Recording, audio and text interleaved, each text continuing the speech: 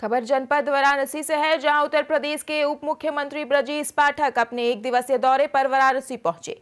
Media से बात करते हुए उप मुख्यमंत्री ब्रजेश पाठक ने कहा कि बड़े लंबे अरसे से कयास लगाए जा रहे थे। ओम प्रकाश राजभर, राजग का हिस्सा होंगे। गृह मंत्री अमित शाह से मिलने के बाद यह स्थिति स्पष्ट हो गई है। आज गृह मंत्री ने सोशल मीडिया में जानकारी भी दी है। ओम प्रकाश राजभर ने प्रेस कॉन्फ्रेंस कर बताया है। राजग का कुनबा मज़बूत हुआ है और यह अब स्पष्ट हो गया है कि भारतीय जनता पार्टी 2024 के चुनाव में प्रधानमंत्री नरेंद्र मोदी के मार्गदर्शन में हम प्रदेश की सभी सीट पर, यानी 80 में 80 सीटों पर विजय श्री हासिल करेगी। अरसे से कयास लगाए जा रहे थे। आदरणीय ओम प्रकाश राजभर जी, राजग का हिस्सा होंगे। परम आदरणीय गृह मंत्री अमित शाह जी से मिलने के बाद ये स्थिति स्पष्ट हो गई है।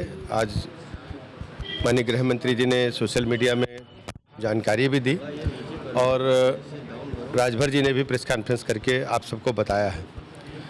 राजग का कुनबा मज़बूत हुआ है और ये अब स्पष्ट हो गया है कि भारतीय जनता पार्टी 2024 के चुनाव में माननीय प्रधानमंत्री नरेंद्र मोदी जी के मार्गदर्शन में उनके नेतृत्व में हम प्रदेश की सभी सीटों पर, यानी 80 के 80 सीटों पर विजय